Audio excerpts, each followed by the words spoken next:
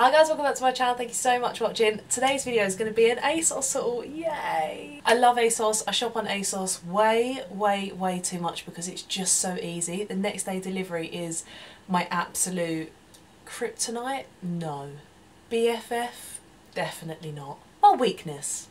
My weakness. Whenever I have any events or any shoots that I need to go to, ASOS is my absolute go-to. So I don't tend to show you everything that I get from there because I feel like I'm constantly picking up like one or two pieces each week. But I did make a reasonably, it's not a hefty haul, there's just about seven, eight things here. And some of them are quite spring-like and I just feel like we need to get into the spring vibes, UK people, don't we? Even though the weather is not helping us out at all here. I'm talking about the weather, it's almost like I'm on a bad first day. Oh, I've had some of those. But yeah, picked up some bits that I love.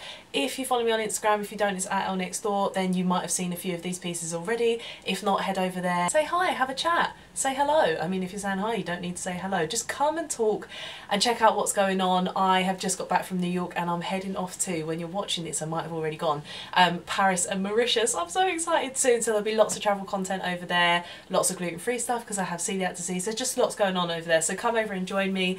But for now, let's get into the video. The first bit that I'm going to show you, um, my mum actually found this and was like, I think you're going to love this. I think you're going to need this in your life. And I'm like, how is she just an older version of me and just know me so ridiculously well? Because look at it, look how cute it is. Or maybe she just knows what an absolute massive cliche I am and how much I love anything slogan. But this bomber is actually from Glamorous via ASOS and I bloody love it. I love the colour. I love this kind of, um, it's almost like a trainer, shoe, string, shoestring, no. You guys can see exactly what it is, so I'm not even going to try to describe it. I love the silkiness and I love the wild heart at the back because I just think it's cute and it's one of those pieces you just throw on with an outfit, especially like jeans and a tee um, and some trainers and it's just like kind of cool and casual and yeah, I really liked that. Wore that a lot in New York. But yeah, love this so much. I've worn this a lot. This t-shirt, I know it's super simple. This is also from Boohoo via ASOS. I know it's simple, I know it's plain, I know that slogan tees, there's a million of them out there and there's probably more jazzy ones with funnier things written on them but I'm all about this. Obviously I'm going to Paris soon so the cliche life chose me. Um, love this, love a plain white tee, love a red slogan, like red writing, love J'adore. Lol. Love J'adore. Yeah, I really liked it and it's super blimmy and comfortable as well, which is always a winner. I got this in a small and it still fits like quite nice and oversized, so absolutely love that. What else have we got? Where's some of my spring stuff? Oh, I picked up this blouse and I'm absolutely obsessed with it. I'm not to lie, keeping it is probably a bad decision because the way that it fits kind of gapes and kind of shows off your bra a little bit and I'm like a comfortable give me the Bridget Jones knickers and Bridget Jones bra, I don't even know if that's a thing but I feel like you'll know where I'm going with this um, kind of girl. So I feel like it's not the best fit for me and it just kind of like drops a little bit low. I'm completely not sending you on this at all, am I? But I just think it is like the most gorgeous blouse ever. Probably not ever but like I really really love it. I love this ruffle detail at the front. I love the kind of it's not really halter neck but it's sort of Bardot with this necky bit here. Necky bit. Classic description. And I love the white and black polka dots so much. It's one of my favourite blouses. I just wish that it didn't kind of like gape so low just above the boob because otherwise it would be the perfect perfect blouse. I went for a 10 which is my usual size but maybe size down that might kind of like bring it a bit tighter and bring it up a little bit. And if anyone's thinking just go braless because you have absolutely no boobs anyway which you are right. It drops low enough that you would definitely have a little bit of a nip slip and I just feel like that's also not the vibe that I'm going for. Nips next door. I have a few dresses which completely my own fault because I took them all out of the packaging and then like scrumpled them all back in. Scrumpled, don't think that's a word but we're going with it. Um, so they're extremely extremely creased but I picked up this one and I'm so excited to wear it. Extreme excitement for you there. Um, but yeah I am super super excited to wear this. It's just a red and white what would you call this? Almost like a crochet dress but it's the style of this that I love so much. Um, I love that it has the sort of um, almost like a brock brock almost like a block rectangular shape here but it has really really pretty arms. Love this bit as well like it's so cute and so delicate as well. Um, and I love that it also sort of nips you in at the waist comes out a little bit but not too much and then flares out a little bit at the bottom as well. I just think that these kind of dresses, there was one similar from Urban Outfitters that everyone went mad for maybe like a year ago or kind of like nine months ago um, and it was just such a classic dress and the style was beautiful and always looked like very pretty but also a little bit sexy as well and I feel like this is my summer version of this. I love it. I can't wait to wear it all summer long. I can't wait to wear it with a tan which hopefully won't always look like this. I just love that. And then I also picked up this dress which again I haven't worn yet but I am so excited to take this to Mauritius and hopefully just like frolic around the beach. I'm actually going on a work trip so the likelihood is that I will have maybe like 10 minutes of the whole trip to actually frolic around the beach um, but here's hoping Again, this is Bardot off the shoulder, comes in at the waist and comes out again and then it sort of flares at the bottom. So very similar in style, but I love the, it's not quite navy, sort of like a dark blue and white kind of nautical vibes. Absolutely love this. It's also a really soft cotton as well so I feel like this will be super comfortable. Very excited about that if you couldn't tell by the ridiculous smile on my face. Then I went for a dress which I'm definitely going to start wearing ASAP because I feel like I can wear it with some over the knee boots or, or just more kind of like warmer um, looks and alternatives so that I'm not absolutely freezing to death in my summer dresses all the time this, if I can work out how it goes, is another wrap dress. If you are not new to this channel, you will know by now that I love wrap dresses.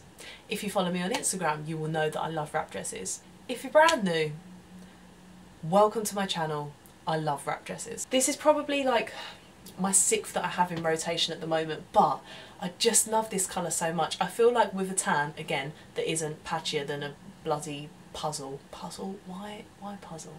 Patchy, patchy, patchy, um, then this will look really beautiful. I also feel like it's quite complimentary on blondes. Again, my blonde isn't going very well for me at the moment. I definitely need to get it redone.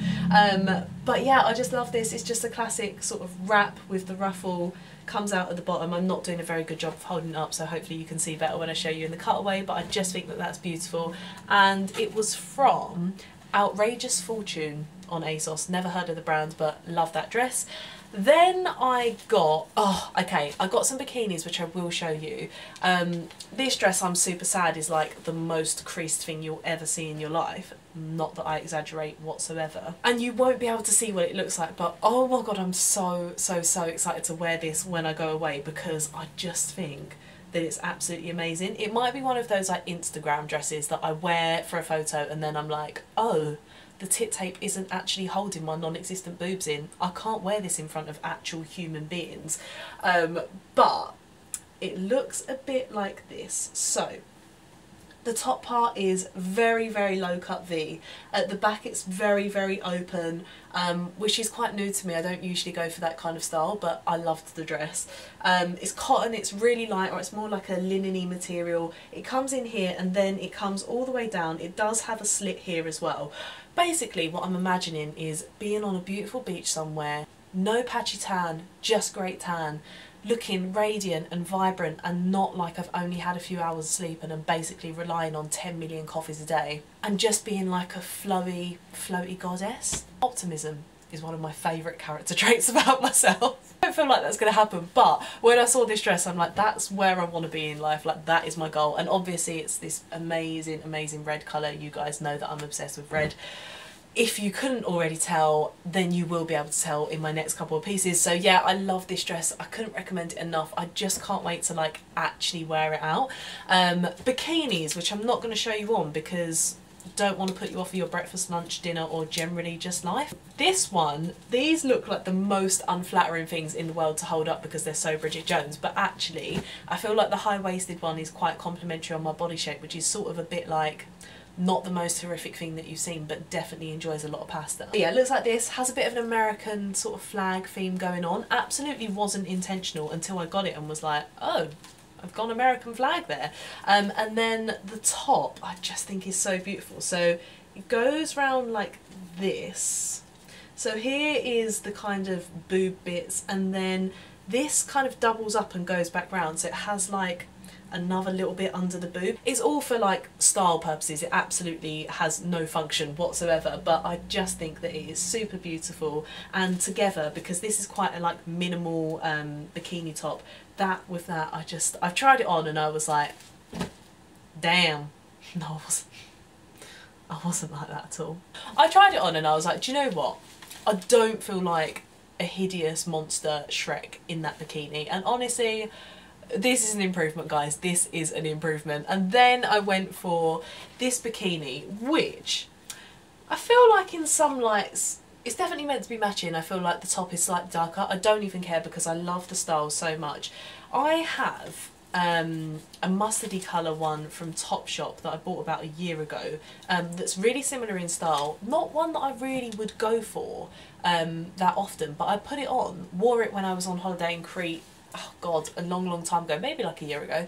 And I just felt really comfortable in it and I really loved it. I loved the style and I love the colour of that and obviously I'm like, it's red, so I'm going to love it even more. So this top is sort of almost sports bra-esque, really. Um, super flattering, super comfortable, like more than anything it's just so comfortable. The bottoms also come high-waisted. I think you could get not really a thong option but like a more like low rise option which again I'm not a fan of I'd either go high waisted Bridget Jones or like very thin and very strappy but ones that can like be brought up quite high if that makes any sense. Probs not but I know where I'm going with it.